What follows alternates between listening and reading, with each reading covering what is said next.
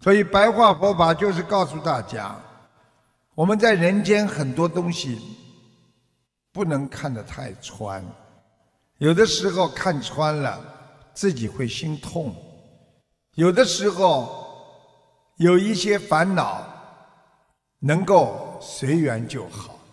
啊，在佛经里边经常有一句话叫“不可说”，很多。世界上的东西只可意会，不可言传。也就是说，你心里能够感受到的东西，并不是代表你一定能够写出来和说出来的。那种内心的感受，那么内心很多的境界，并不是写得出来的。就像我们每个人学佛的经历一样。都不一样，有的时候那是一种悟性，那是一种觉，那是一种受，所以去修心就是觉悟自己这颗心，啊，所以佛陀教化众生，叫我们要抛弃妄念执着，我们人不可以执着。不能有妄念啊！所以佛陀叫我们进入飞想飞飞想的状态啊。飞想，也就是说，我们要懂得飞想，飞就是不啊，不是的啊啊！你比方说，不去做什么的，非也不去做，不要这么做。飞飞想就是不要去想。那么飞飞想呢？飞想就是不要去想，但是呢，又不是不要去想。也就是说，你不要去想，但是你又并不是进入了完全不想的境界。啊，这就是靠你的觉悟了。所以世界上很多事情，你做也好，不做也好，有的事情可以做，有的事情不能做。实际上，又可以做，又不能做，又。想做又不能想去做，这就是人生。我们说要靠理解和你的悟性。所以师父跟大家讲啊，我们人啊，为什么很多东西不能说？因为当你想说的时候，你有自私心在里边，你有妄念就在你想说的话里边。所以任何人只要说出来的话。他一定除了这个说话的目的之外，他还会有很多私心杂念，包括我要显化。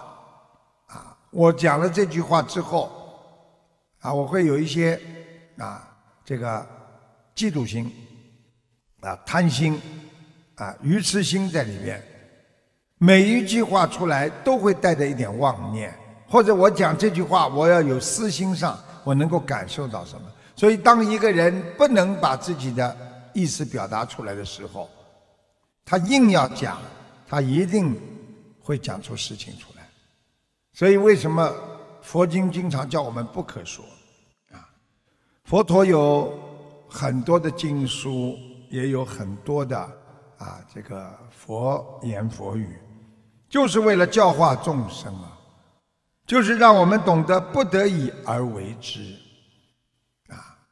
你到了实在精神上控制不住的时候，啊，你一定要理解它，就靠平时的学习，最后能够到你心中来感受它，来理解它。所以禅宗讲的是什么？不执着于文字，就是这个道理。所以，当一个人学佛学到后来，整天跟别人讲文字。那你已经执着在文字当中了，所以真正的学佛，那就是要用智慧的语言来解脱自己的思维。所以佛家经典有一句话说：“有的事可说，不可做；有的可做，却不可说。”有的既不可说又不可做，这就是你的理解能力了。所以，当佛经学到深奥的时候，完全靠你自悟了，完全靠你自己内心阿莫罗氏的本性来契合你的阿赖意识，能够合在一起。师父跟大家做个解释：有的事可说不可做。你们会说，有的事情可说不可做，什么事情可说不可做？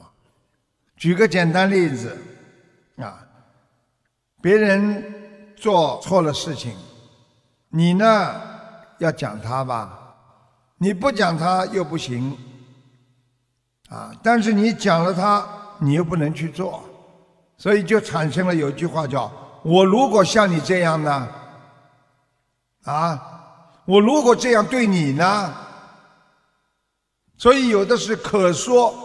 但是你能这样去对他吗？你能这样去做吗？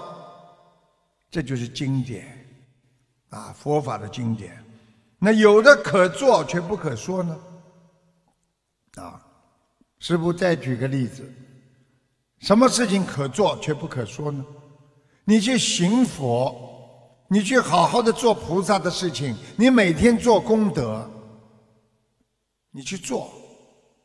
但是你对那些无缘众生，你只要说了，比方说你吃全素了，你跟他一说，你引起他造口业，他就说了：“哎呀，山珍海味都不是，你到人家来干什么的？你连享受你都不会啊！哎呀，什么酒肉穿肠过了，他们都会造口业。”然后慢慢的，啊，你就帮他们背了。所以有的事情你自己做，你就是行菩萨道。但是你不一定碰到没有缘的人，一定要去跟他说。所以有的既不可说又不可做。什么是既不可说又不可做的呢？那就是你内心肮脏的思维呀。又不可以说出来，肮脏的思维又不能做。你做了，你有因果；你不做，你就没因果。所以佛经这种经典的东西，就贯穿在我们学佛的那种智慧上面。所以为什么学到后来人的智慧会越来越开呢？所以为什么学到后来人会不一样？就犹如我们心经里边有一句“色即是空，空即是色”一样。